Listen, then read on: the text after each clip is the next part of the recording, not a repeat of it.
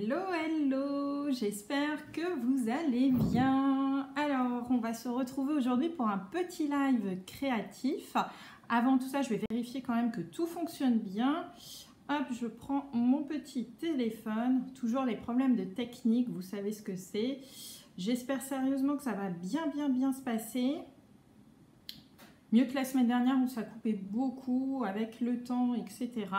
Mais effectivement, tant que j'aurai pas euh, le, euh, la fibre, mais en fait, ça va être un petit peu compliqué euh, pour faire ces petits lives. Donc, on va vérifier juste que ça fonctionne. Ah bah voilà, j'ai l'air de m'entendre, donc ça a l'air d'être bon. Hop alors, j'espère sérieusement que vous allez bien. On va donc aujourd'hui créer encore une nouvelle fois ensemble pas mal de petites choses. Je vais vous montrer tout ça. Et puis à la fin du live aussi, euh, je vous montrerai euh, deux, trois petites choses supplémentaires. Des petites surprises sont prévues pour vous. Donc euh, voilà. Alors, je vais vous proposer aujourd'hui de réaliser ensemble. Hop, je vais vous montrer ça tout de suite cette petite boîte. Alors, il s'agit donc d'une petite euh, boîte qui est en forme d'étoile, euh, qui s'ouvre. Bonjour Michel Voilà, et regardez un petit peu, donc c'est une boîte quand même d'un assez beau format. Coucou Christine vous allez voir que, hop, regardez-moi ça, on peut y mettre donc des chocolats sans aucun souci. Et vous allez voir en fait que euh, cette boîte est assez facile à faire. Il n'y a pas trop de, difficultés particulières. Elle est un petit peu plus longue peut-être que les projets que je vous ai présentés euh, jusqu'à présent, mais vous allez vous rendre compte euh, quand même que c'est tout à fait faisable. Alors, pour réaliser cette petite boîte, vous allez avoir besoin notamment donc d'étoiles que vous aurez donc créées soit à l'aide de matrices de découpe que l'on appelle des dailles. Donc nous, chez Stampin' Up, nous avons la chance d'avoir des dailles étoiles. Donc j'ai pris deux tailles différentes, une pour faire en elle-même la boîte et les blanches en fait pour faire la décoration. Vous allez avoir besoin d'un plioir, d'un massicot pour couper bien entendu votre papier, du scotch double face, je vous recommande vivement de travailler au scotch double face pour réaliser donc euh, ce projet. Ça reste quand même euh, plus simple avec le scotch double face, vous allez voir. Vous allez euh, avoir besoin, c'est ce que je vous avais marqué, de votre set de tampons préférés. Alors moi, en ce qui me concerne, pour le moment, on est sur la période de Noël. Donc je vais vous montrer le projet fait avec euh, des tampons de Noël. Et vous verrez la petite surprise aussi euh, après puisque je vous ai préparé une autre petite boîte beaucoup plus euh, on va dire printanière. Voilà. Vous allez éventuellement avoir besoin aussi donc de mousse 3D donc chez nous ça s'appelle les stampines dimensionnelles alors, mousse 3D, euh, si vous voulez, si vous n'en voulez pas, aucun souci, vous pourrez travailler sans aucun problème avec de la colle. Et puis, on va euh, également avoir besoin, bien entendu, d'encre. Donc moi, en ce qui me concerne, vous allez voir, on va faire un projet euh, vraiment dans les couleurs de Noël, le vert, le blanc. Donc voilà un petit peu ce que nous allons réaliser aujourd'hui. Hop je reviens donc sur la vidéo et on va euh, réaliser ensemble le projet. Alors, le projet, hop, je bascule donc sur la vidéo. J'espère que ça fonctionne toujours. Dites-moi surtout, j'espère que ça coupe pas trop, que vous ayez quand même euh, quelque chose d'assez fluide. Et je vous montre tout de suite, voilà. Alors, on va basculer donc sur la table de scrap. Hop, je me lève puisque vous le savez, je travaille debout. Voilà. Vous allez donc réaliser avec moi cette petite boîte. Donc voici la petite boîte. Donc vous voyez dans ma main. Hop, elle est quand même d'un assez grand volume. J'ai pris en fait les plus grands dailles, mais néanmoins, ne vous embêtez pas. Hein. Vous pouvez tout à fait aussi dessiner une étoile à cinq branches euh, sans problème sur du papier et ensuite euh, la, travailler avec. Il n'y a aucun souci là-dessus. La petite boîte, donc je l'ai travaillée, hop, avec ce set de tampons qui s'appelle Mon Petit Lutin. J'adore, moi, ce petit set. Je sais que Christine aussi, puisqu'elle l'a pris. Donc euh, voilà, je trouve que c'est assez enfantin et c'est tout mignon. On peut faire de jolies choses avec. Et lorsque l'on ouvre la boîte, hop, voilà. Donc on se retrouve avec donc mon autre étoile blanche, c'est ce que je vous disais, un petit texte et donc vous pouvez y glisser des chocolats. Pour les gourmandes, les Ferrero Rocher rentrent dedans, il n'y a aucun, aucun souci. Voilà, donc vous voyez une belle boîte. Vous allez vous rendre compte aussi que moi j'ai fait une taille, euh, regardez un petit peu, qui est quand même assez conséquente puisque justement le but moi c'est d'y mettre des chocolats qui sont assez gros. Euh, et voilà. Oui, je sais, ça coupe, Christine, mais malheureusement, là, je ne peux pas y faire grand-chose. Tant que j'ai pas la fibre à la maison, ça va être compliqué. Donc, euh, voilà un petit peu le projet que je vous propose de réaliser ensemble aujourd'hui. Donc, on va mettre tout ça de côté. Hop, hop, hop. Et nous allons donc commencer par préparer donc nos étoiles. Donc, c'est ce que je vous avais mis. Il vous faut donc 4 étoiles. Deux étoiles qui vont vous servir notamment pour euh, faire les décorations. Donc pour le moment, vous pouvez les mettre de côté sans aucun souci. Et ensuite, hop, ces deux étoiles-là qui vont nous servir à proprement parler pour réaliser en fait notre boîte. Donc c'est ce que je vous disais. Pour ma part, moi j'ai utilisé donc des dailles que voici et qui font partie donc du sublime lot que nous avons en ce moment, donc avec des étoiles façon couture. Voilà. Alors, vous allez avoir besoin, hop, on va pousser nos étoiles pour le moment puisqu'on ne va pas s'en servir tout de suite. On va former en fait ici ce qui est donc notre boîte à proprement parler. Donc les étoiles, on les met de côté. On va prendre donc une feuille de papier cartonné notre massicot.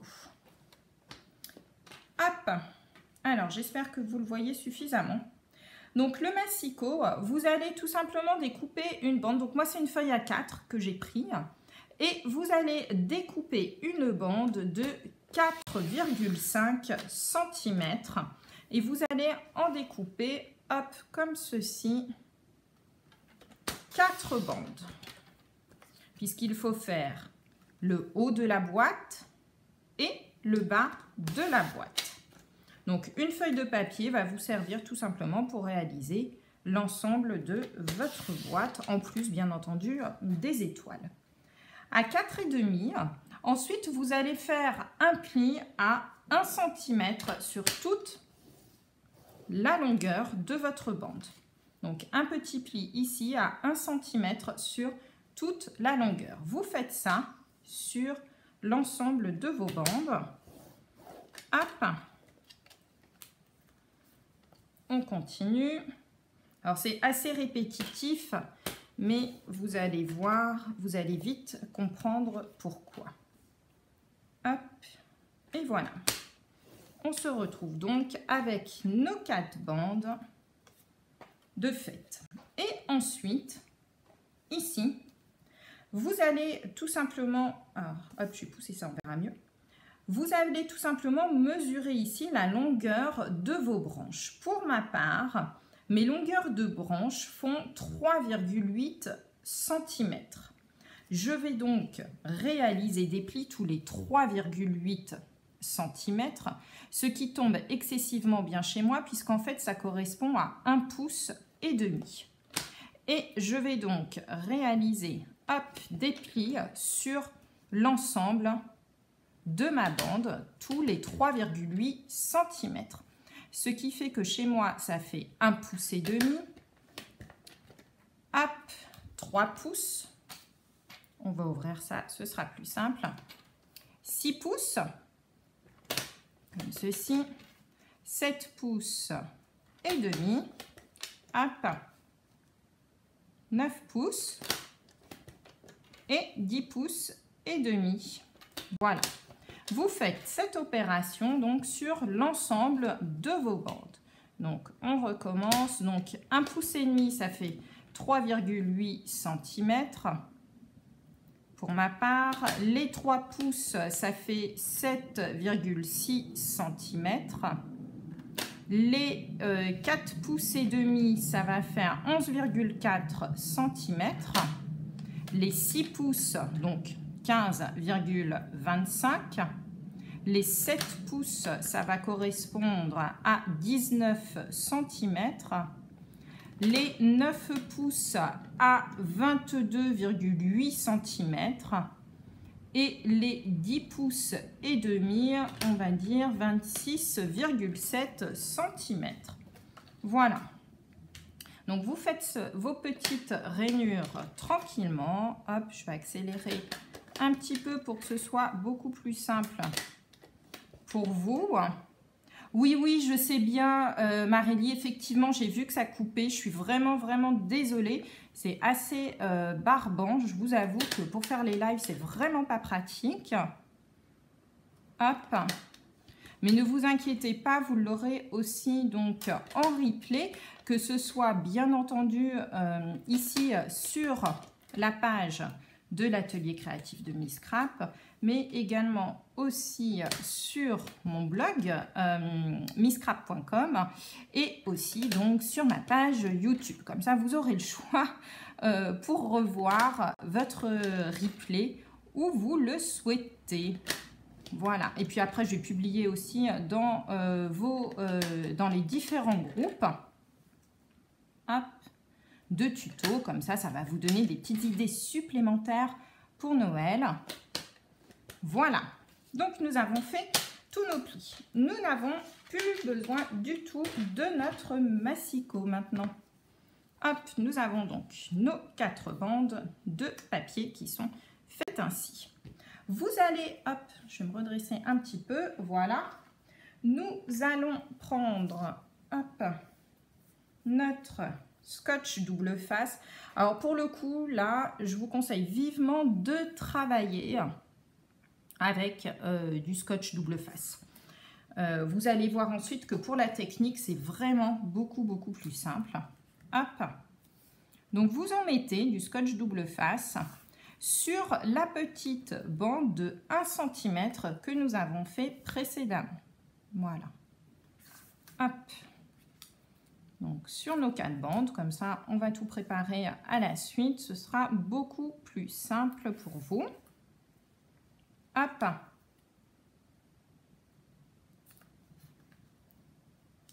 Voilà. Une fois que c'est fait, hop, vous allez au niveau, je vais me rapprocher un petit peu, au niveau ici de nos différents plis, nous allons tout simplement, hop, faire du biseautage. Alors, d'habitude, le biseautage, hop, je le fais beaucoup moins fort que ça.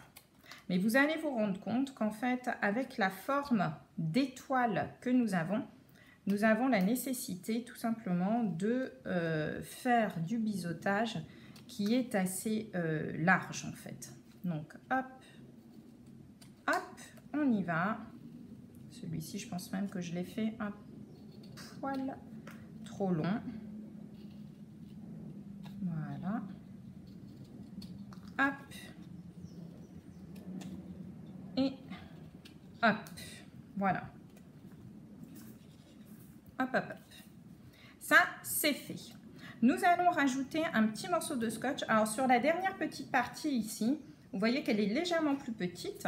Vous allez rajouter un petit morceau de scotch, comme ceci. Hop.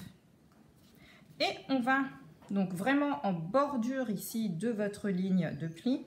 Et vous allez couper, hop, comme ceci, cette petite bande. Voilà, vous devez obtenir ceci. Donc là, nous avons 1, 2, 3, 4, 5, 6, 7 sections. Vous allez vous rendre compte, alors on va faire une deuxième bande totalement identique. Je vais vous montrer, hop, alors moi j'aime bien faire tout d'abord du même côté quand je biseaute en général. Je trouve que ça va plus vite. Après, c'est des petites euh, manies. Hein. Racontez-moi aussi vous, vos manies comme ça. C'est rigolo de savoir un peu ce que chacune, euh, nos petites manies que l'on a. Hop. Hop. Hop. Donc, vous arrêtez bien à chaque fois à la ligne de pli, surtout. Voilà. Et hop. Donc, on se retrouve comme tout à l'heure. Je vais enlever tout ça. Ce sera plus simple. On va nettoyer quand même notre euh, petit lieu de travail. on va faire comme tout à l'heure exactement la même opération sur la deuxième bande, à savoir rajouter un bout de scotch double face, ici, proche donc de... Voilà. Alors vous pourriez me dire pourquoi tu es allé jusqu'au bout avec ton scotch double face. C'est juste pour euh, la rapidité en fait de, euh, de la chose que j'ai décidé de faire ça, mais vous n'êtes vraiment pas obligé de faire ceci. Donc nous avons ici cette section. Or, sur une étoile à 5 branches, nous avons donc 10, euh, comment j'appellerais ça? 10 côtés en fait, 1, 2, 3, 4, etc. Si vous comptez, nous avons 10 côtés. Il nous faut donc encore 3 autres, euh, trois autres euh, petits hop, côté comme ceci. Donc du coup, vous comptez une, deux, trois sections. Vous remettez un petit bout de scotch. Ça va nous refaire en fait la languette comme nous avons fait tout à l'heure. Voilà, hop, et on refait ici, comme tout à l'heure, le petit biseautage. Alors c'est rigolo parce qu'en fait, en... si j'avais fait la vidéo euh, de ce projet euh, sur euh, directement ma chaîne YouTube, je vous aurais pas montré les quatre bandes à faire en fait. On se arrêté avant, je vous aurais dit vous répétez l'opération X fois et puis voilà. et, et, et, ici donc on va allonger en fait notre bande pour avoir nos 10 sections les unes avec les autres. Donc on enlève, on se positionne bien ici. Voilà. Et nous avons donc une grande bande qui est formée avec 10 sections. D'accord? Voilà. On va refaire donc la même chose. En fin de compte, vous n'avez besoin que de 3 bandes. Voilà, c'est bien. Ça, c'est le direct. Alors, vous allez me demander certainement où est-ce que j'ai trouvé ce petit projet. Eh bien, en fait, ce projet a été réalisé donc par euh, Shelly Gardner, qui est en fait la fondatrice de Stampin' Up avec euh, sa sœur euh, Lavina. Et en fait, elle nous a présenté ça lors de notre dernière convention à Dortmund. J'ai trouvé le projet vraiment top. elle nous a mis les instructions, etc. Donc j'avais tout bien noté.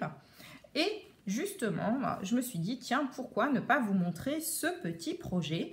Euh, moi, je le trouve top et vous allez voir que pour toutes les occasions, ce projet euh, va pouvoir être utilisé. Voilà. Donc, vous voyez, nous avons donc nos bandes euh, de fête. Une fois que nos bandes sont prêtes, hop, hop, hop, voilà. Et du coup, alors oui, regardez en replay les filles, hein, parce que je suis vraiment désolée. voilà. Et nous allons maintenant, comme ici, voilà, je vais vous montrer ici, en fait, comment faire, hop, euh, on va faire nos petits tamponnages. Alors, pour les tamponnages, en ce qui me concerne, j'ai euh, pris donc le set de tampons dans des toiles qui va avec nos dailles étoiles. Et du coup, je vous propose de réaliser des petites étoiles dessus. C'est vraiment top. Vous allez voir. Donc, mon papier étant euh, de couleur sapin ombragé chez nous, eh bien, hop, j'ai repris pour faire effectivement du ton sur ton. Je trouve ça très sympa, le ton sur ton, en fait. Je trouve que c'est vraiment quelque chose qui, euh, qui est tout en discrétion et qui pourtant fait son joli petit effet. Voilà. Donc moi, je le fais en général que euh, sur la boîte du dessus. Hop, puisque euh, sur celle du dessous, quand on ouvre notre boîte, en fait, on n'a euh, pas besoin forcément, je trouve, de voir. Non, moi, si vous voulez le faire, allez-y, faites-vous plaisir. Une fois que c'est fait, hop, je vais enlever la deuxième bande. On peut maintenant marquer tous nos plis. Donc là, ça va aller très vite. Hop, hop, hop. On plie tout. Voilà, comme ceci. Et on va plier aussi nos petites sections. Alors, pliez-les dans les deux sens. Voilà, puisque nous allons besoin de travailler notre papier. Voilà. Et voilà. Vous prenez ensuite une de vos étoiles. On va commencer par enlever le, euh, petit scotch double face et vous venez la mettre, alors je vais peut-être me rapprocher pour que vous le voyez bien, voilà. On vient coller tout simplement la bande ici, le long de euh, notre marque. Alors vous voyez tout à l'heure, je vous disais de bien biseauter, regardez, c'est pas grave, on reprend notre paire de ciseaux et on recoupe le long tout simplement de l'étoile. Et on va faire comme ça toute notre boîte. Donc vous voyez, vous y allez branche par branche. Voilà. Et vous voyez que votre boîte va tout simplement se former. Alors, hop, voilà.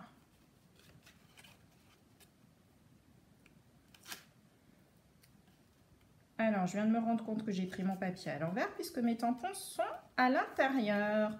C'est pas très grave, on les refera sur euh, l'autre morceau. Celui-ci, ce sera donc le fond de la boîte. Voilà. Hop. Donc, on continue comme ceci. On y va. Voilà.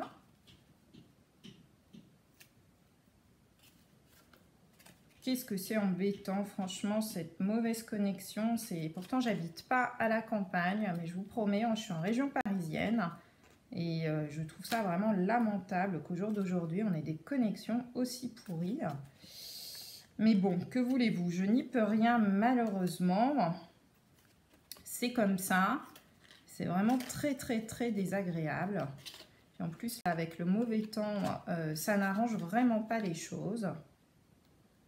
Donc, hop, on enlève la dernière section comme ceci. Voilà. Donc, vous voyez, notre petite boîte commence à se former. Et pour la terminer ici, on enlève notre petite section et on va la glisser, à l'intérieur, comme ceci. Et voilà, donc là, vous avez déjà une première petite boîte de réaliser. On va faire notre deuxième boîte.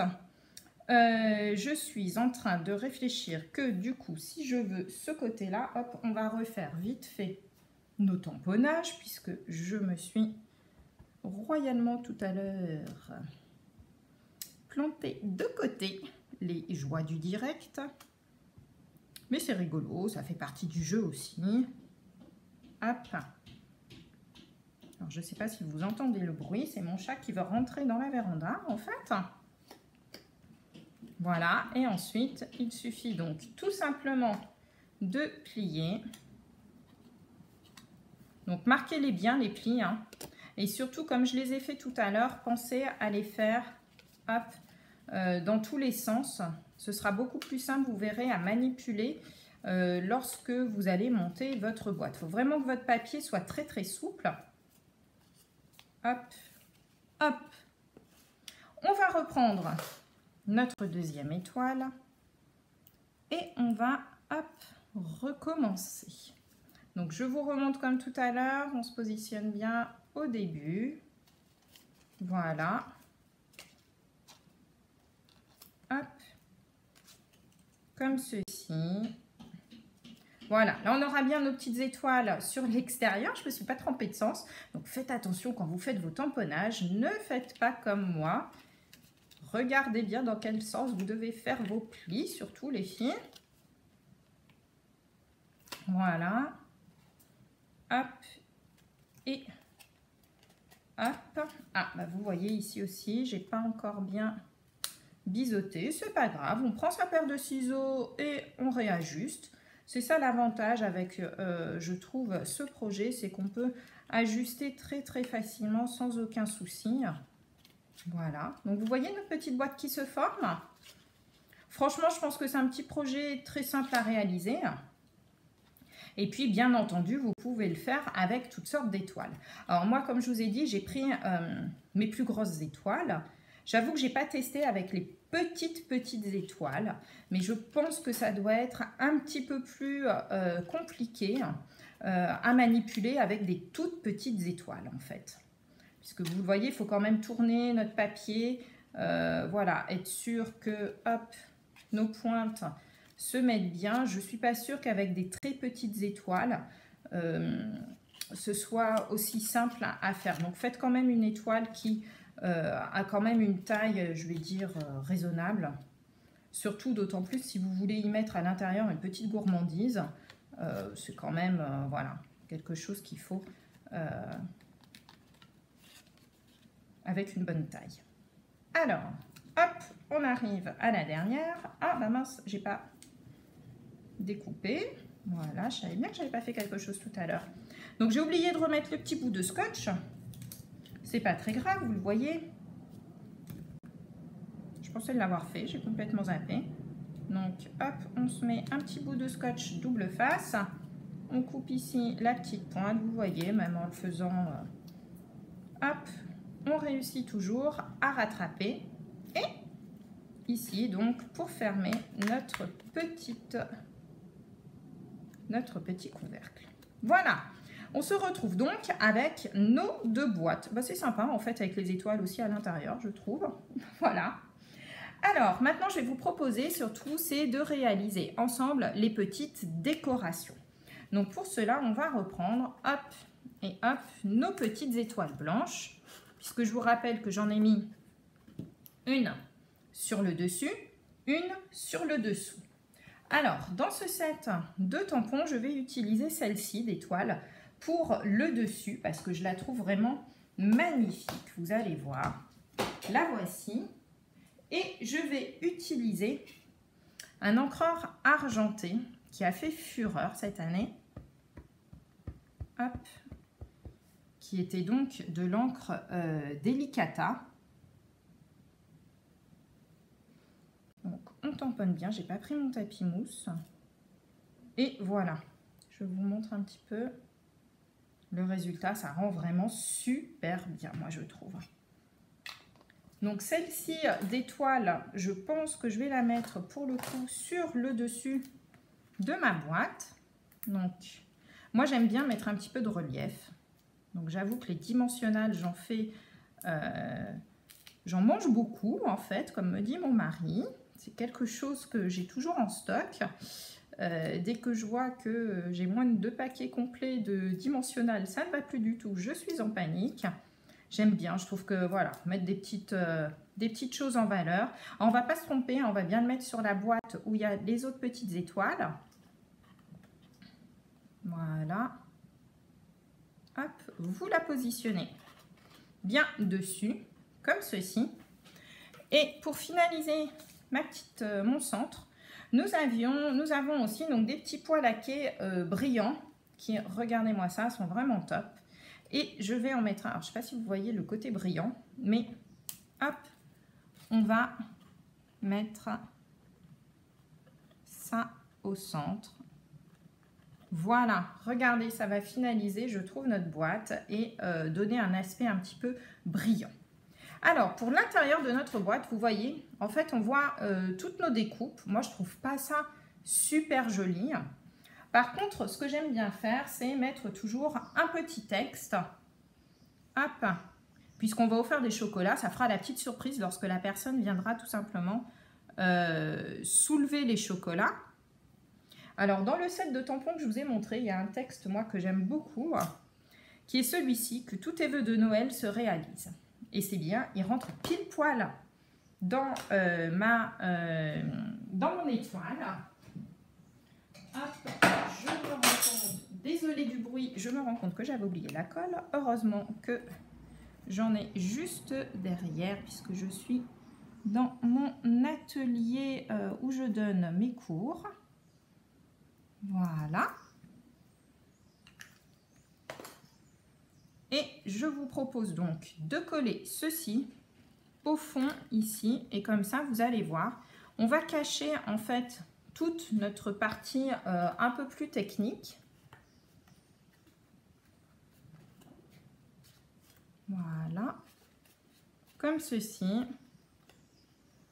Et voilà, et vous voyez que nous avons donc notre petite boîte de terminée. Et vous allez voir que notre boîte, ce qu'il y a de bien avec cette technique, je trouve, avec cette boîte que nous a montré donc Lee Gardner, c'est qu'en fait, hop, elle s'adapte parfaitement alors qu'on a fait exactement la même taille de boîte en fait pour le dessus et le dessous. D'habitude, je vous dis toujours de faire le dessous légèrement plus petit que le dessus. Mais là, avec la hauteur que j'ai choisie, en fait, l'étoile s'évase légèrement et ça permet notamment d'avoir euh, ce type de choses. Alors ça, c'était les petits projets pour Noël. Je vous ai dit tout à l'heure que j'avais euh, une petite surprise pour vous. Eh bien, regardez, pour vous montrer que vous pouvez le faire aussi et commencer à préparer un petit peu le printemps qui euh, arrive, eh bien, je vous ai préparé une petite boîte avec un set de tampons.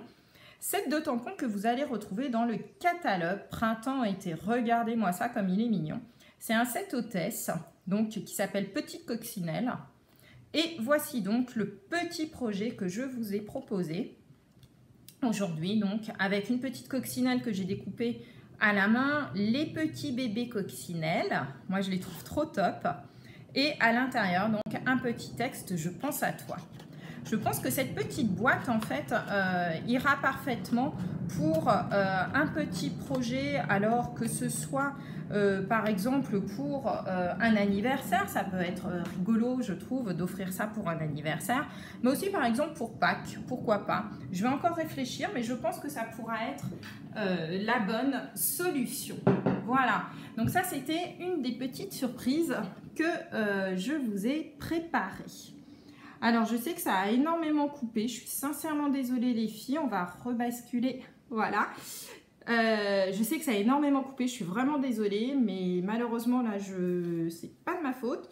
Je ne peux rien euh, ni faire si ce n'est euh, prier pour avoir la fibre très très vite pour que je puisse vous faire des lives de qualité. Surtout que, bah voilà, j'ai tout ce qu'il faut. J'ai les applications, j'ai tout ce qu'il faut pour vous montrer tout ça. Donc, du coup, c'est vraiment dommage et c'est rageant pour moi.